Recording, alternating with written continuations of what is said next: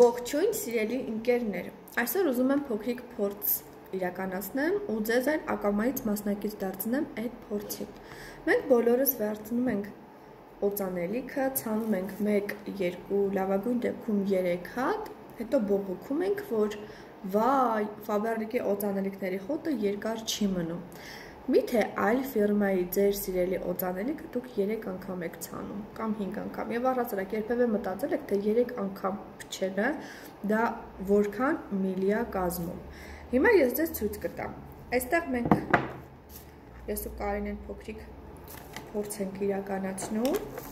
Հիմա ես կցանեմ կափարիչի մեջ օծանելիքը եւ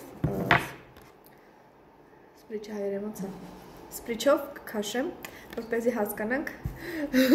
թե քանի միլի է։ Հիմա տեսեք. 1 2 3 4 5 6 7 8 9 10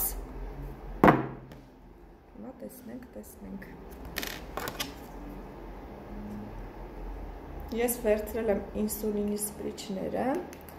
հա, այստեղ կպցրել եմ թուղթը։ Հա, երևում է, բայց ոչինչ։